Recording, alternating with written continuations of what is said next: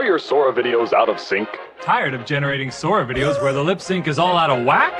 Then you'll love Dzine's amazing solution, and we'll look at it on today's program on Bob Doyle Media. Today I'm going to show you how you can fix some of the lip sync problems you may run into when you use video generators such as Veo or Sora that produce lip synced videos. The technique I'm going to show you today will work with one person or multiple people. It will work with Sora whether you're using Cameo or not, and it will also work with Veo 3 and 3.1, and even with videos that you make with the Veo 3.1 start and end frame. So let's just get into it. To accomplish this, we're going to be using Dzine's lip sync tool. I just did a video the other day on Dzine's multi-character lip sync, and it's that lip sync tool that's going to solve our problems. First, let me just clarify what I'm talking about just in case you aren't clear. How many times have you created a Sora video, whether or not it's a cameo, meaning that it features you or a character that you've created, and the lips aren't moving or they aren't moving correctly with the right character? Something like this. I'm looking straight at the lobster roll because it's my birthday and this is how I'm celebrating. All buckled in, ready to go, climbing the hill now. This is the calm before the seafood storm. Here we go. Woo!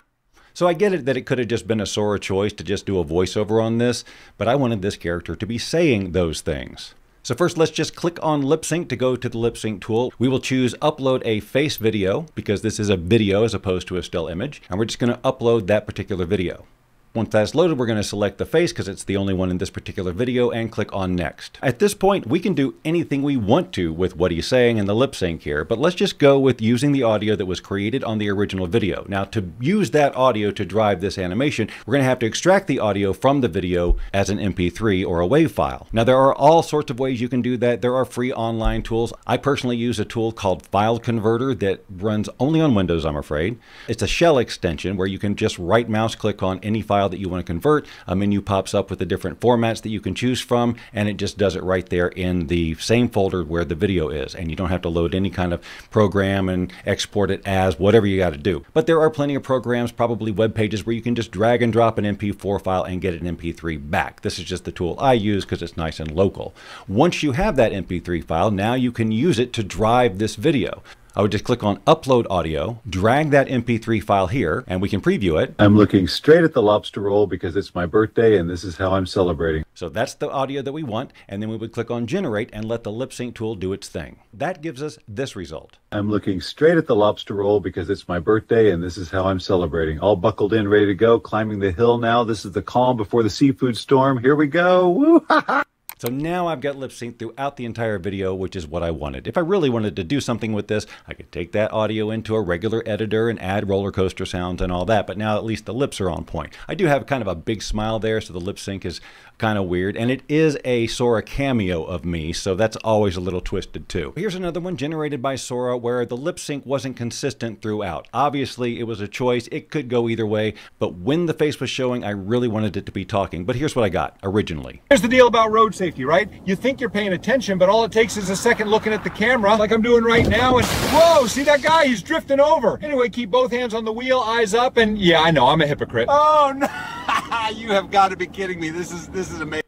So just there at the end, right before I said, you got to be kidding me, this is amazing, I'm rolling around on the money and I'm not saying anything. So I did the exact same technique, dragged the video into the lip sync tool, dropped in the MP3, but just watch at the end where he's first rolling around in the money and I wasn't saying anything before. Here's the deal about road safety, right? You think you're paying attention, but all it takes is a second looking at the camera, like I'm doing right now, and whoa, see that guy? He's drifting over. Anyway, keep both hands on the wheel, eyes up, and yeah, I know, I'm a hypocrite. Oh, no. you have got to be kidding me. This is this is amazing.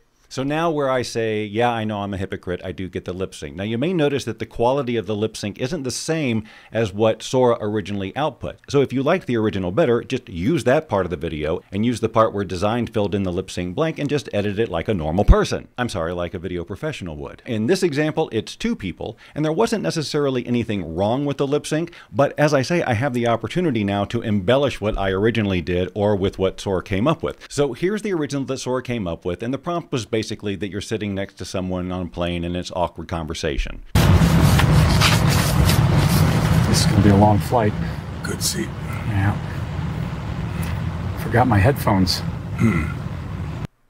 So Not much going on there dialogue wise. It is what I prompted, but with the Dzine lip sync tool, I can add different dialogue on top of these characters and even extend the scene further. So the process on this one is basically the same. You go to lip sync, you drop in the video you want. Because Dzine doesn't currently allow you to clone your own voice, and I wanted to use my own voice in this, I created the dialogue for this scene using another platform called Fish Audio, which I just did a video on, and this allows me to create a dialogue between these two characters. And then I can export each individual dialogue and then import them onto the timeline in order, which is what I did here. So, is this home or are you headed home? Oh, um, I'm going to visit my niece. Really? I had a niece once. Uh, not sure whatever happened to her. Really? Nope. Oh, did you ever reach out to her or anything? Who? Your niece.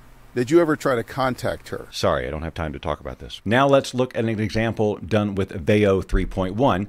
This video here was actually created in the Dzine platform using Veo 3.1's reference feature. So for one reference image, I used this guy here. And for the second reference image, I used this can of Bob Doyle Media Soda. No home should be without a couple of six packs. You can see this right over here. Here's the image of the man, and here's the image of the soda can. And the prompt is the man in the first image is holding the can in the second image, saying, You know, being an AI avatar can really make you thirsty, and nothing quenches an AI thirst quite like Bob Doyle Media Soda with all the liquidity of soda, but none of the flavor. So that was the Veo 3 script, and this is what I got. You know, being an AI AI avatar can really make you thirsty. And nothing quenches an AI thirst and quite like Bob Doyle Media Soda.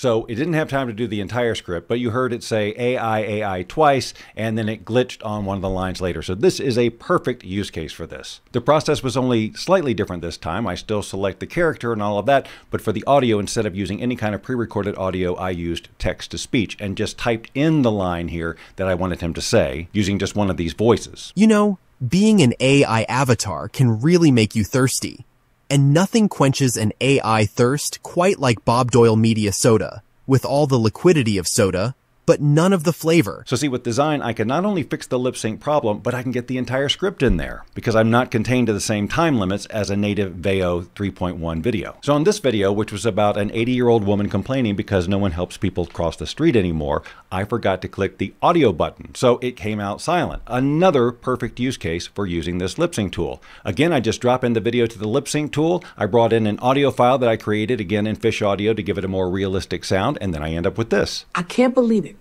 80 years old and I can't get one person to help me cross the street? It's ridiculous, I tells you. This next video was created using the Veo 3.1's ability to use start and end frame. So this was the start frame for the animation. And this was the end frame. So same two characters, they're clearly in a shopping mall. And my prompt to Veo was two women walk from one part of the store to the other, talking about how the weather is changing. And here's what it gave me. I can't believe how much the weather has changed already. I know, it feels like summer just ended. Now, first of all, they didn't do the exchange. The dialogue was between two people, but the blonde, the Tracy ish person, said both lines, and the Presley type person didn't say anything except, ha. And then, of course, you got this weird last frame here. So it just didn't really work. So I used the multi character lip sync ability of Dzine, and I used text to speech to create all new dialogue for the two of them, and now I have this. I can't believe how much the weather is changing already. Oh, I know. I thought it would never stop raining last night. It was crazy. It's still raining at my house. So, Cute, right? But now there's no weird distorted picture at the end. They both had a logical conversation and exchanging the lines like it should be. Now, it's not a perfect solution, and there are times when you're going to have to do a little bit of hacky stuff if you want to get some things to work. For example, some types of multi-character videos. First, let's watch this video. Hi there, could I get an order of animal fries, please? Sure thing. Anything else for you? That's all. All right, that'll be 425. Paying with card? Yes, here you go. Thank you. Your number's 42. We'll call it in a minute. Perfect. All right, so that's all wacky. She's the customer and he was placing the order and she was doing all the restaurant stuff. So that's not at all what we want. But if you'll notice, the very first frame of this video only shows his face. And if I go to the lip sync tool and load this video in, it's only going to see the first face. And right now, anyway, there's no way for me to scroll through the video to find the other faces. So it would seem I wouldn't be able to do this because I only have access to one face. But not with today's technology, my friends. Here's what I did. I loaded in the video into Filmora in this case. It can be any editor where you can pick out video frames. And I just scrolled around and found a picture like this of the kid and exported that. And then I found another good picture of Tracy where she's facing the camera and I exported that. Anybody see where we're going? Back in Dzine, I can go to the text to image module. I can drop both these images onto the canvas here and then I have direct access to them from the chat editor.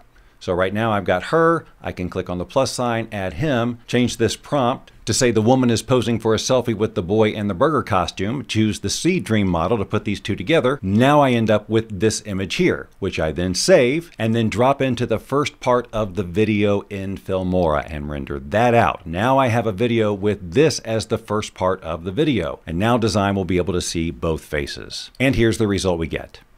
Hello and welcome to Burger Farm. Thanks. Can I get some animal fries and a shake? Yeah, but it's gonna cost you money, honey. Luckily, I have money in the form of plastic, so it'd be great if you change your attitude and act more professional.